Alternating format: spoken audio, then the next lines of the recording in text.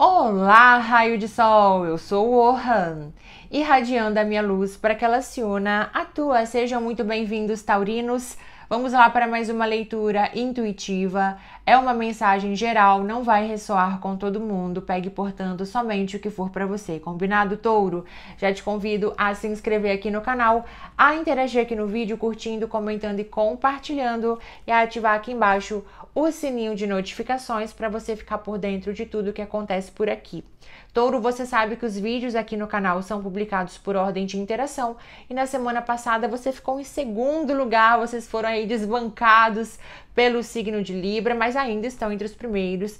Então, se você deseja que na semana que vem você se mantenha aí entre os primeiríssimos a ter o seu vídeo gravado e publicado, é muito importante que você curta, comente e compartilhe agora, principalmente nas primeiras 24 horas. Lá no nosso Instagram, irradiar-se, você pode ficar sabendo quando é que o seu próximo vídeo vai ser publicado. E nós temos também o nosso outro Instagram, que é uohan. Certo, touro? Bora lá para sua leitura. Vamos ver quais são as energias para a próxima semana, para os próximos dias, a partir do dia que você acessar esta leitura, este vídeo quais são as mensagens espirituais, quais são as energias disponíveis, quais são aqui os alertas espirituais. Mensagens, conselhos e direcionamentos para o signo de Touro. Mensagens, conselhos e direcionamentos para o signo de Touro.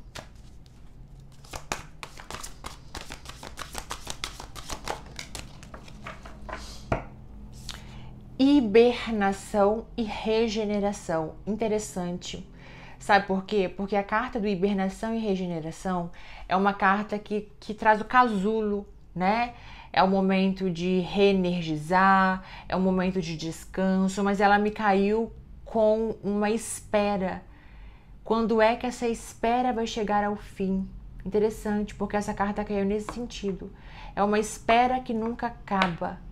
Quando é que as coisas ou que essa situação em específico ou que esse caminho específico vai desenrolar então aqui é um cansaço da espera, eu não aguento mais esperar, eu não aguento mais ter que reenergizar, eu não aguento mais ter que trabalhar o meu autocuidado, eu não aguento mais ter que, sabe, eu não aguento mais essa ladainha de toda hora, eu tenho que, que limpar a emoção, eu tenho que fazer isso, eu tenho que fazer aquilo, tá bom, e aí, quando é que o resultado vem? Né? Então são alguns taurinos impacientes, essa energia, essa carta me trouxe essa energia você está impaciente, touro? Hein? Para alguns taurinos em específico, nós temos aqui o dar amor, né? É você e o dar amor fala de você viver trocas, viver, por exemplo, encontros afetivos, né? Então eu posso falar de alguns taurinos que estão num momento onde você está se sentindo muito em falta, porque você entrega, entrega, entrega e você está recebendo o quê, né? Então são relacionamentos unilaterais. Tanto você, taurino, que já tem um relacionamento, pode ser que você esteja sentindo algum tipo de desequilíbrio, né? Eu gostaria que o meu parceiro ou minha parceira estivesse fazendo algo que não está fazendo. Ou pode ser que nessa semana surja algum tipo de situação que você fique, se sinta assim, né? Em desvantagem ou, ou frustrado porque você esperava que a pessoa reagisse de uma outra forma, ou posso falar também de trabalhos, de amizades que parece que só se aproximam ou que só querem tirar, mas não há um retorno equivalente ao que eu ofereço, entende? Então essas duas primeiras cartas estão me trazendo uma impaciência e uma certa irritabilidade e uma angústia de quando é que a minha vez vai chegar, quando é que o meu retorno vai chegar, né? Quando é que o meu trabalho vai ser reconhecido, que o meu valor vai ser reconhecido, que alguém vai fazer algo por mim. Eu tô sempre fazendo por todo mundo, quando é que alguém vai fazer algo por mim? Isso pode ser em qualquer nível, pode ser uma questão familiar, por exemplo, né?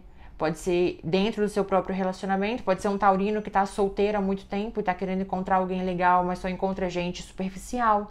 Pode ser dentro do trabalho onde você não é valorizado Então, essa carta do dar amor, ela vem, é como se, perceba que nós temos a lua te olhando, né? Mas é como se a espiritualidade falasse que vê a sua dor, sente a sua dor, e que está sim ao seu lado te acalentando.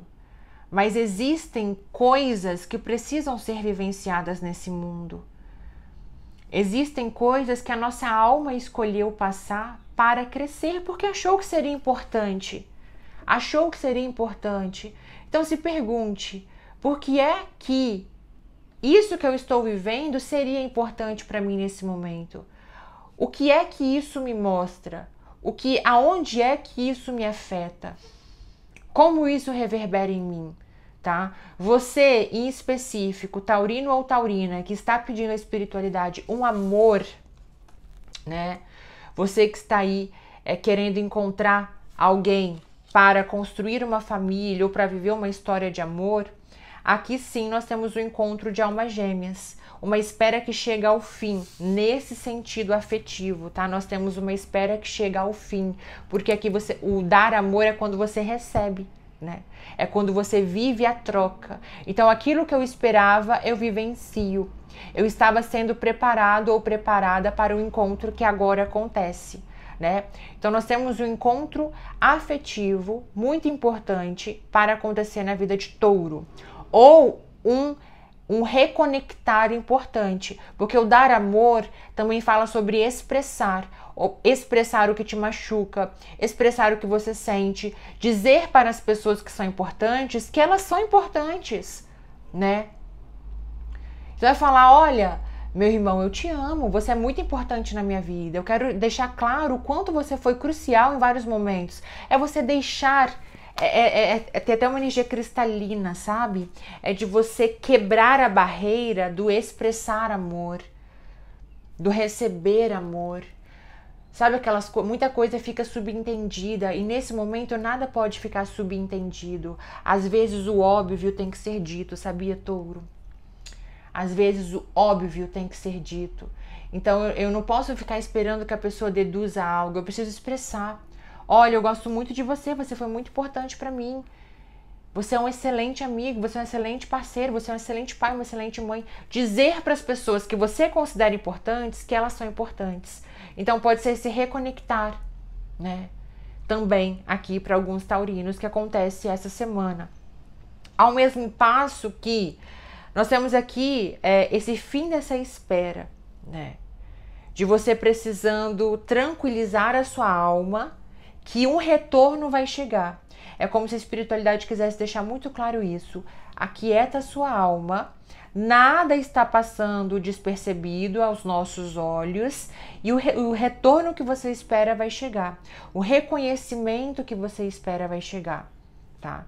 Mas infelizmente existem coisas que é, nós não podemos acelerar da forma que você gostaria que acontecesse, sabe? Existem algumas regras no mundo, no cosmos, vou falar assim, existem algumas regras no cosmo, no cosmos que devem ser respeitadas.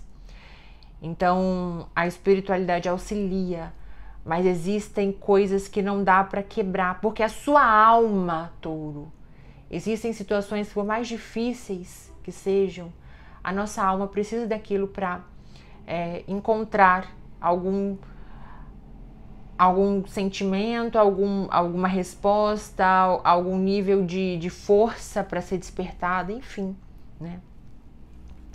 Tá, touro, vamos ver o que mais.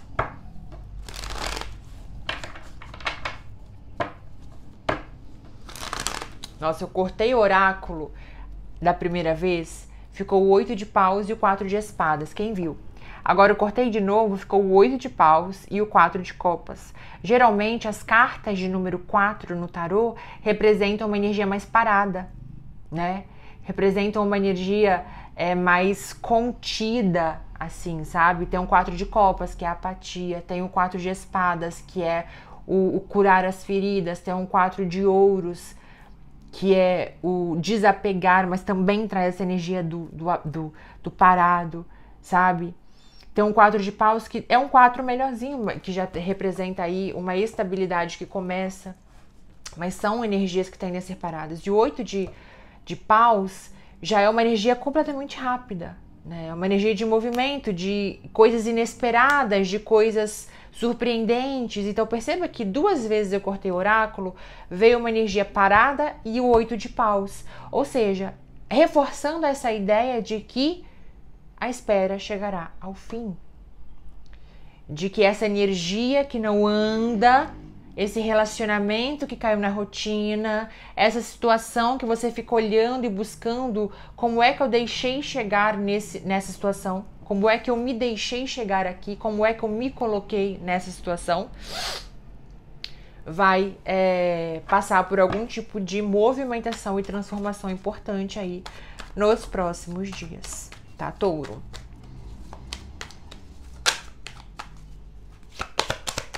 O que mais para touro? Hum, mais uma. Caiu aqui na minha mão o eremita. Interessante que o eremita não caiu. O eremita ficou na minha mão. Porque cabe a você acreditar na sua própria força e acreditar nos sinais que a sua própria intuição te traz. Tá na sua mão, entende? O poder de despertar em você e de se conectar com o seu lado mais sábio só cabe a você. Ninguém pode fazer por você, nem mesmo espiritualidade. É aquilo que eu estava falando, existem regras a serem respeitadas nesse mundo. Então a, a espiritualidade só pode ir até o momento que, que começa o seu livre-arbítrio. Então, o eremita ficar na minha mão é de você é, assumir o controle, touro, do seu campo energético e vibratório. É de você olhar para a sua própria jornada e se entender capaz, se entender forte. Sabe? De ser aquela pessoa que se olha e reconhece o quão foda é. Você se diminui muito. Você precisa agora se engrandecer a eremita, ela, ela precisa de um tempo para se ouvir. Você precisa de um tempo, você com você, para você ouvir os sinais do seu próprio corpo, ouvir os seus próprios pensamentos, ouvir as respostas que a espiritualidade está trazendo para você.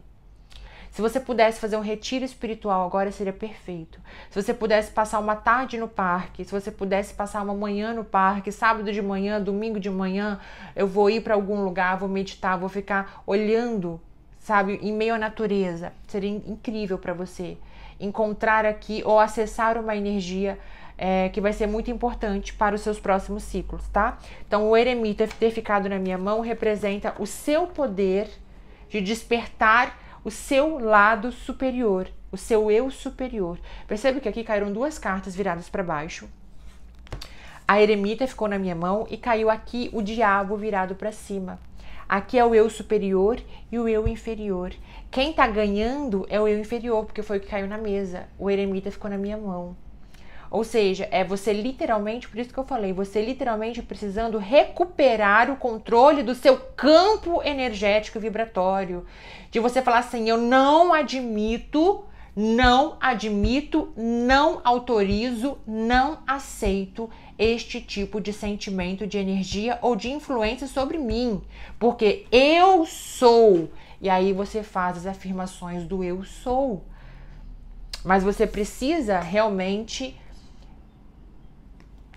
lidar ou cortar algumas energias inferiores, tá? Algumas energias inferiores. A matéria ainda te confunde muito, né, touro? Esse equilíbrio entre o que é espiritual e o que é material te confunde muito ainda.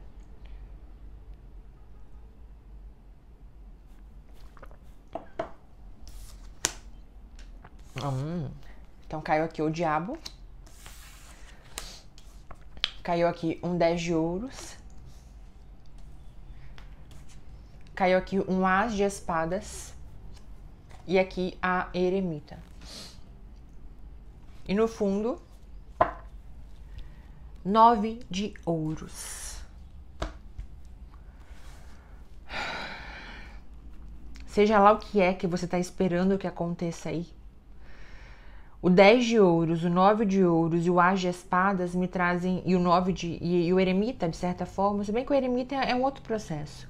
Mas essas três cartas aqui, com o diabo, se eu interpreto o diabo no sentido positivo, é você re, realizando ou você conseguindo uma oportunidade que te colocará mais próximo de uma ambição material. Eu vejo aqui taurinos que são extremamente determinados e ambiciosos. E você se irrita e você se frustra porque você sabe que poderia estar fazendo muito mais e manifestando muito mais coisa, mas você não está tendo a oportunidade ou as condições financeiras para fazer o que você gostaria. Então daí vem a sua frustração, né? De repente, eu até acredito que eu posso, mas eu não estou encontrando caminhos para fazer. Eu não estou encontrando as portas abertas para manifestar isso. É como se alguns taurinos sentissem essa injustiça por parte de algumas oportunidades, né? De você não ter uma chance, você só precisa de uma chance, né, touro? De alguém que acredite em você e te dê uma oportunidade ou que reconheça o seu trabalho e abra a porta. Veja aqui uma excelente oportunidade chegando para você, associada à vida profissional e associada a questões materiais. Uma excelente oportunidade de investimento, uma excelente oportunidade de emprego, uma excelente oportunidade de parceria. De repente você tendo uma ideia empreendedora. Eu vejo aqui realmente os próximos dias sendo muito favoráveis para movimentações relacionadas ao seu trabalho principalmente movimentações onde você faz sozinho, tá? Ou com familiares. Então, estou pensando em abrir algo com meu irmão. Bom, estou pensando em abrir algo com um amigo. Não sei, né? Se for um amigo que você considera muito, cresci junto, ok, né? Considero familiar. Mas aqui eu vejo negócios familiares ou individuais, entende? Mais favoráveis aqui, tá? Agora, quando eu interpreto isso para o relacionamento, que eu falei lá atrás de um relacionamento unilateral, de um relacionamento baseado em dependência emocional ou dependência financeira, talvez é uma semana para você colocar na balança até que ponto vale a pena continuar nesse relacionamento ou não. Quando estamos falando de relacionamento afetivo, que pode ter um relacionamento aqui abusivo no sentido de é, é, emocional ou financeiro, tá? E aí é uma semana, porque o nove de ouros é você sozinho também. O As de Ouros é você sozinho que tá aqui embaixo. O As de Espadas é você sozinho. O Eremita é você sozinho. A estrela vem trazendo né, a oportunidade de você sozinho se conectar, a sacerdotisa. Então tem muitas cartas, touro, que me trazem você fazendo o movimento sozinho. Mas nós temos o 10 de ouros, que é um movimento familiar. Então por isso que eu falei, para os negócios aquela questão e para o relacionamento, de repente, alguns taurinos aí descobrindo que precisam é, fazer algum movimento só para depois conseguirem se conectar com essa pessoa que vai vir ou, pra, ou reconectar ou de repente finalizar um ciclo no âmbito afetivo para iniciar outro, né? Ou para investir nos próprios sonhos de repente, né? Alguns taurinos aí pensando em em, em resgatar o sonho de fazer uma faculdade, em resgatar o sonho de fazer, de empreender, sabe? E para isso, de repente, eu vou ter que finalizar uma conexão afetiva, tá?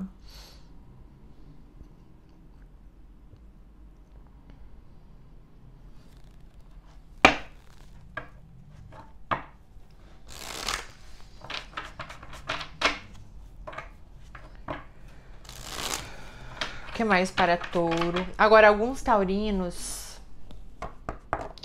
Eu olho para esse diabo, esse 10 de ouros. Tem uma questão aqui de condicionamento familiar relacionado ao dinheiro, né? É um padrão de escassez familiar, tá?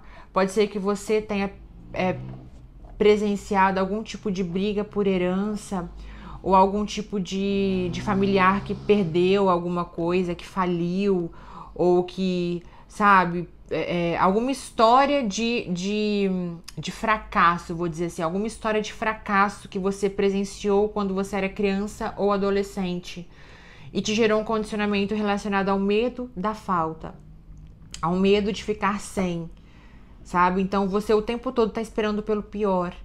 Então, isso daqui precisa ser trabalhado, porque é um padrão, um condicionamento familiar que, que, que, a, que surgiu a partir. Não é só com você, tá? É um padrão familiar mesmo. Então, o, o, por mais que vocês não comentem sobre isso, pode ser que seus irmãos, seus pais sintam a mesma coisa, esse medo do futuro, porque presenciaram ou viveram algo que foi muito frustrante, no sentido de uma briga por heranças, ou no sentido de um negócio que, que, que faliu, ou no sentido de alguém que perdeu tudo por algum motivo específico, sabe?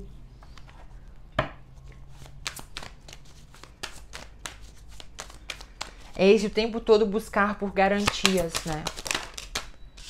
Dois de copas, olha aí. Olha aí.